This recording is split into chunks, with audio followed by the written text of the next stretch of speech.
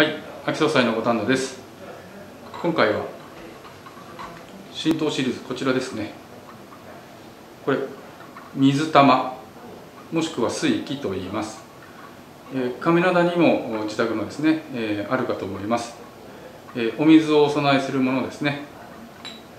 このようにお水を入れてお供えをすると。